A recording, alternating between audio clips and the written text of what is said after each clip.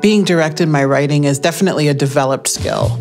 I have always been opinionated and I've always been able to be more confident on the page. But the older I get, the more I understand that I have as much a right as anyone else to articulate my understanding of the world and how I experience it.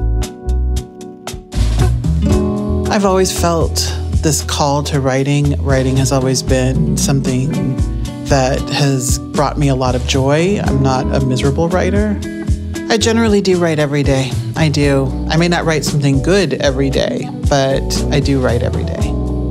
I get ideas for writing from everywhere. Sometimes I'll like walk down the street and I'll see someone interesting and think, what is their life like? And boom, an hour later I have an idea for a story. I'm also really nosy, so I'm always asking people a million questions because I want to know everything about them. And it's not that I'm mining other people's lives from my work, but everybody's got something going on that's just like, wait, huh? Really? And I just like figuring out like what that really interesting thing is that they don't want to tell anyone. Um, because it just reminds us that, you know, we're all really interesting and individual.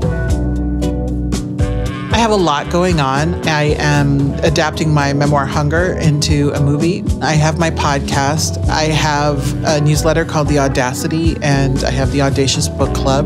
I am working on a book of writing advice called How to Be Heard. I am writing a YA novel called The Year I Learned Everything.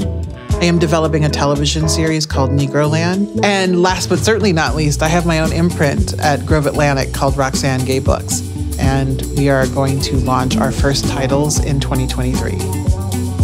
With everything I have going on, Dropbox allows me to collaborate with a lot of different teams. I use it for my own writing. I have different folders for every single project. I also keep a lot of my personal stuff on Dropbox. I just keep everything there, including my uh, personal archive.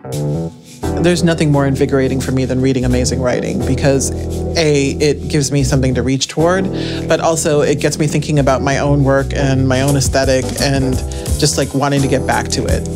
In everything I do, I try to think about the ways in which I can support other writers and give visibility to other writers who uh, may not have the same level of access that I do.